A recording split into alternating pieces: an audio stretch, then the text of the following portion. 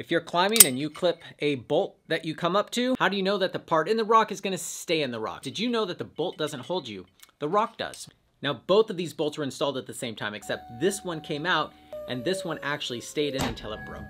So what was the difference? EP800 is an epoxy that you can put glue and bolts in, and no, epoxy is not glue, but we call these glue and bolts Therefore, we call the stuff we glue it with glue. This stuff is $20 and Hilti 500 V3 is $88. So before I stick this in a rock and trust my life to it, I'd like to know a few things about it. So we decided to do a really cool experiment where we're testing this about every hour or so to find out how strong it is as it's curing. Does it cure underwater? And does it cure if it's below freezing? We have tested the Hilti quite a bit on this channel. We've done it in shear and in tension and sandstone and concrete and granite. It's a great epoxy. The problem is a lot of money and it's sometimes hard to get. And we used to use Liquid Rock 500 and we tested that in concrete and granite and sandstone. We tested that a bunch too.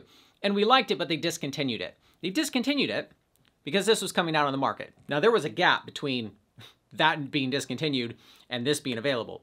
But we finally have this available in our store because I kept poking MKT for a while because I was really excited about having a single tube that was gray, something that requires a normal caulk gun and is gray. Did you know epoxy is red?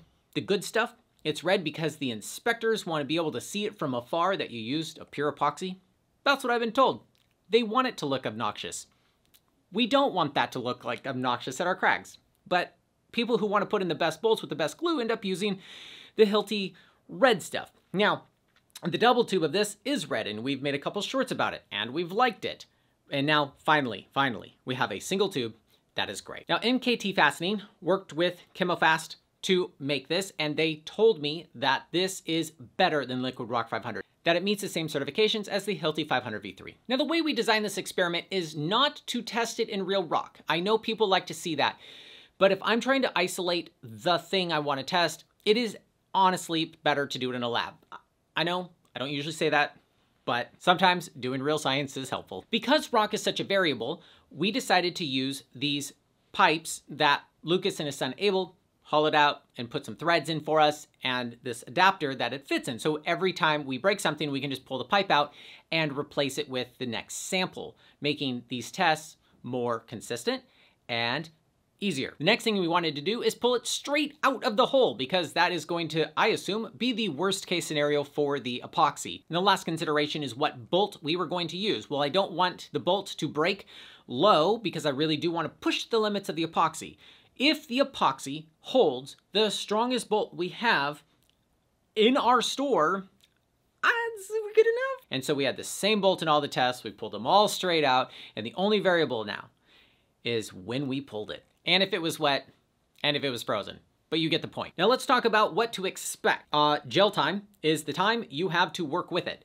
The time that you can put the glue in and orientate it the way you want before it sets up. Now once it feels firm, don't pull on it because the curing time is going to be hours longer.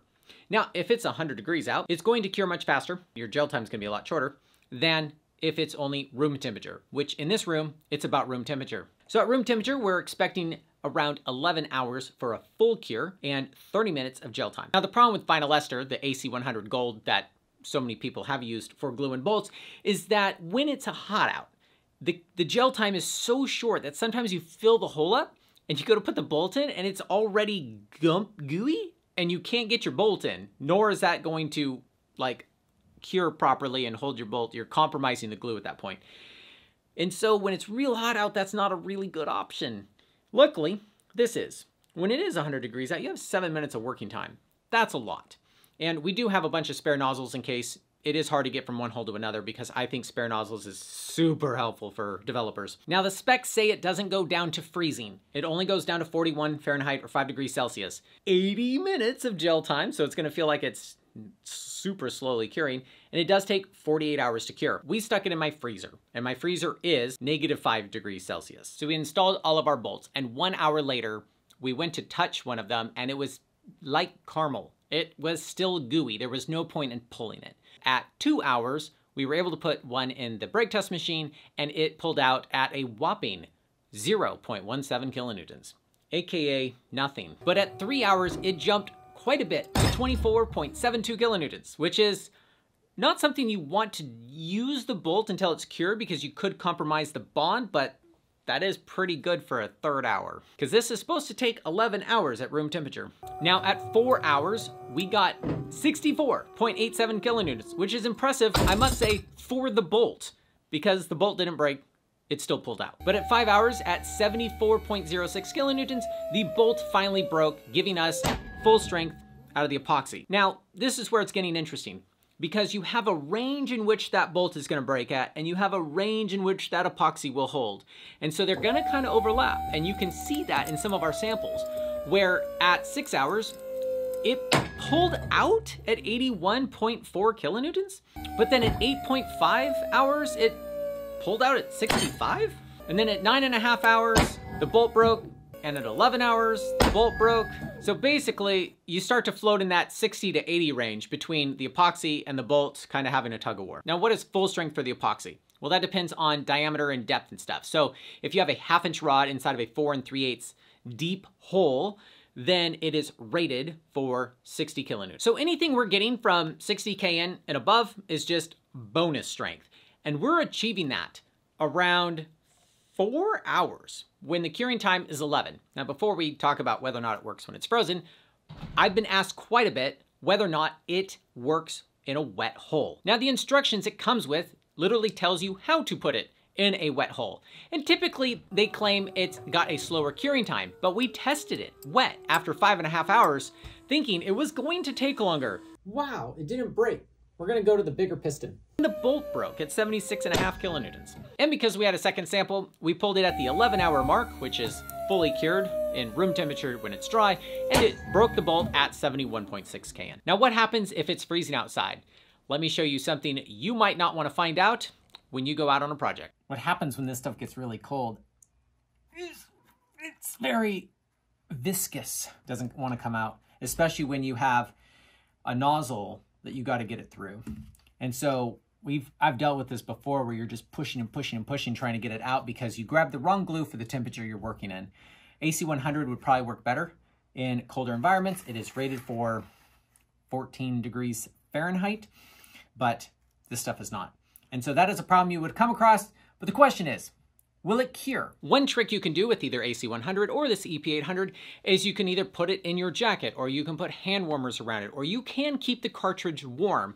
But if the environment itself is freezing, well, after 11 hours, it was still goopy on us. So we waited 24 hours and it had a Play-Doh consistency. And we waited 48 hours and it finally started to cure enough to where it we got 2.9 kilonewtons. And then we did it at 72 hours and we got 5.78 kilonewtons. And you can see what's happening here is it is ever so slowly curing, but epoxy does not like when it's below what it is rated for.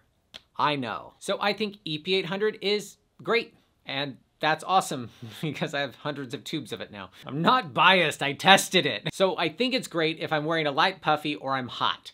Now, if I'm wearing a big puffy and I'm super cold, then I think a vinyl ester is gonna be better. You can see that we have all the data in this graph and we also put it in this chart so you can geek out on it going up and then right because that's more or less what it does. We knew what the graph was gonna look like before we started, we just didn't know at what angle. But Ryan, you said there were 17 tests. I don't see 17 tests, but wait, there's more because I still got three more in the freezer at the time of filming this. After we break test those, we will add that data to the graph and the chart.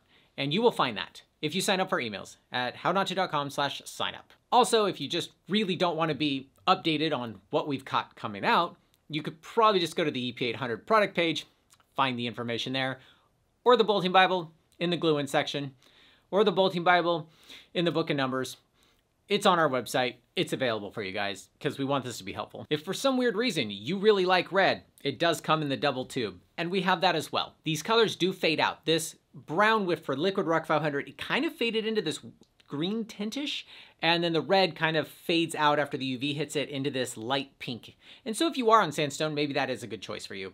But I do like this color more than other ones. And AC100 Vinyl Ester also is a great color. We put a lot of energy making sure we have a lot of bolt options, and we wanna make sure you have two glue options. So the AC100 when it's cold, the EP800 when it's warm out, and all the glue-ins you probably need. Go to hownot2.com if you need any bolting hardware. Cheers.